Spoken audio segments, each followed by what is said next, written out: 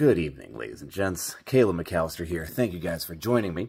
So I just put my kids to bed, and I wanted to show you guys a treat that I made for them today using my Black & Decker air fryer, and that is air fryer s'mores. My kids helped me make them, and they absolutely loved them.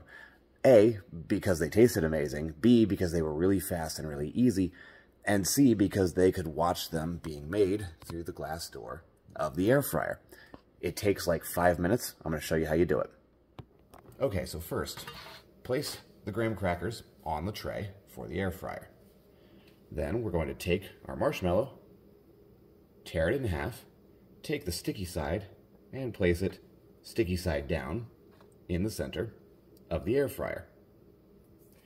Now, we're going to place that tray in the air fryer for about five minutes on air fry and you can watch it, as my kids love to do, and just kind of get a sense of when the marshmallows are toasted to your liking. While that's happening, we're going to take the other two halves of the graham cracker and place the chocolate ready and waiting on those.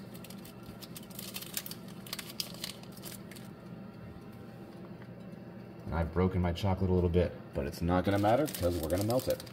All right, once those marshmallows are toasted to your liking, like I said, you can watch through the window and kind of get a sense of how you like it.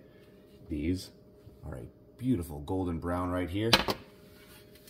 We take them out, and we are simply going to place the chocolate and the graham cracker on top of the marshmallow.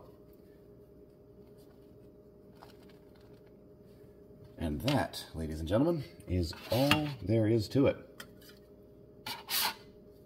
I've just made a couple here, but of course, you could fit many more onto the tray if you wanted to. Bon appetit. Not just for kids. Have a great night, everybody. Check the Black & Decker air fryer out at the link below. You can make this and a million other things super easily with it. I love it. Thanks for being here, guys. I will see you next time.